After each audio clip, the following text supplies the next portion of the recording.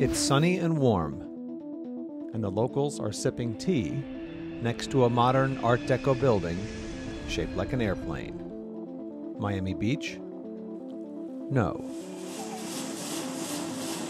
A train from the 1930s chugs from the sea to the capital, 2,400 meters high through stunning mountain beauty. Switzerland? Wrong. A small country that won its existence by defeating a nation 20 times its size. A proud, stubborn group of warriors who act like winners.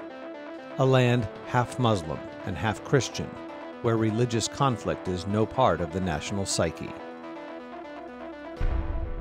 You find a mosque here and a church here, one goes to his mosque, one goes to his, and nothing happened. Where could it be? Africa, that's where. Eritrea, to be specific. In the 1930s, Mussolini tried to turn Eritrea's capital, Asmara, into an African Rome.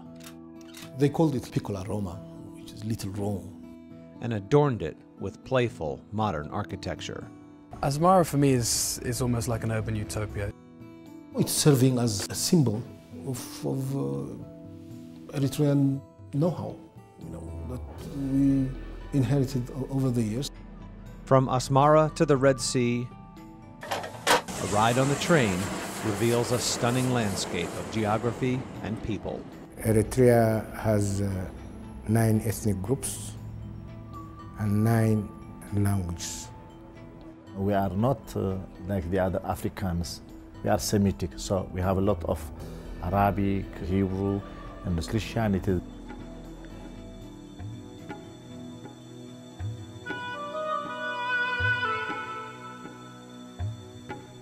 Nomads in some of the hottest desert on earth. It's very hot in this area. Therefore, they migrate to the place where they can find water. Others in isolated mountaintop villages. It takes nearly four and five hours to drive to the village.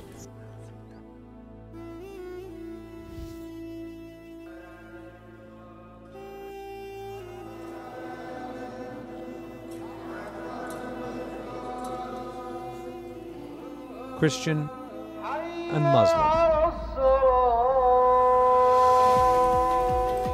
Side by side.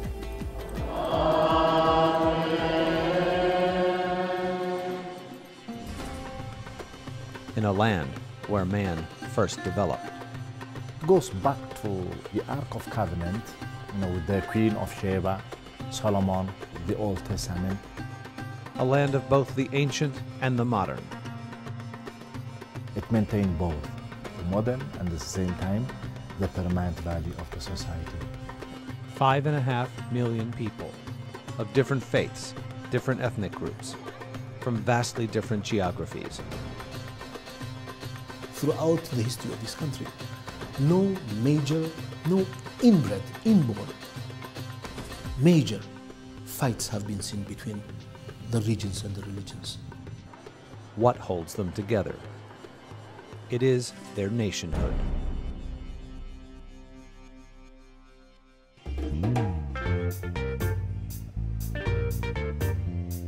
You can speak a different language and live in one part of the country, and another one can live in another part of the country, but they can count their ancestry back to the same, to the same ancestor.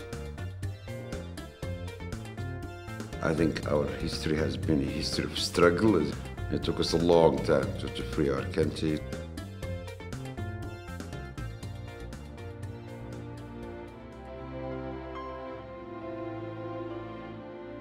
A people who built schools and hospitals in the trenches. And we were behind the enemy lines. We were printing our books. A pharmaceutical factory was, was established out there. Rise to nationhood. But after a long, uh, bloody struggle, we got in our independence in 91. Now, we are an independent country.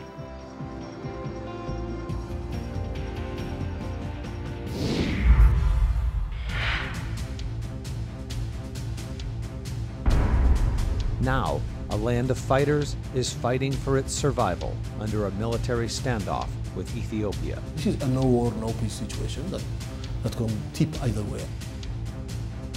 They won last time. But if there's a next time, will Eritrea survive as a nation